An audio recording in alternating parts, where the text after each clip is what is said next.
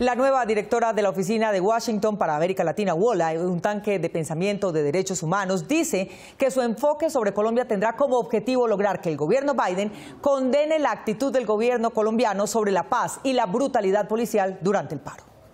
Desde el pasado 7 de septiembre, Carolina Jiménez Sandoval asumió la presidencia de la Oficina de Washington para América Latina, WOLA, una de las organizaciones más importantes en el seguimiento a los derechos humanos y a los acuerdos de paz en Colombia. La nueva presidenta aseguró que precisamente los acuerdos de La Habana serán uno de los temas prioritarios durante su trabajo. En ese sentido, seguiremos, ¿no?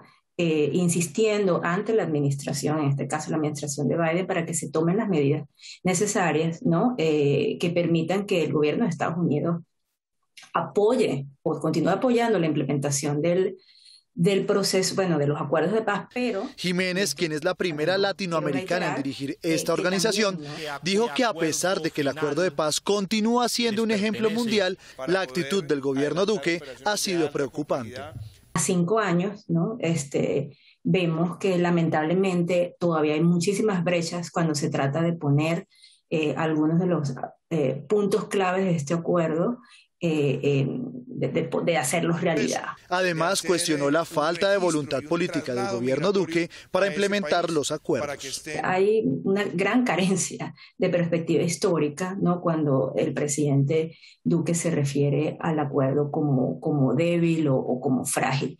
Creo que la fragilidad no viene de la existencia o del contenido del acuerdo, viene de la falta de voluntad política que la administración del presidente eh, Duque ha demostrado la presidenta de WOLA se refirió a la brutalidad policial que se registró en las pasadas protestas y aseguró que la organización apoyará las propuestas y enmiendas que han venido haciendo los congresistas demócratas para condicionar la ayuda que le entrega Estados Unidos a Colombia. Sí creemos que hay, ¿no? Obviamente en el Congreso eh, una voluntad para eh, asegurarnos que cualquier ayuda o asistencia que vaya hacia el gobierno colombiano, especialmente en materia de seguridad, venga, insisto, acompañado de candados. Y cuestionó que la administración Biden no haya rechazado públicamente el abuso policial en Colombia.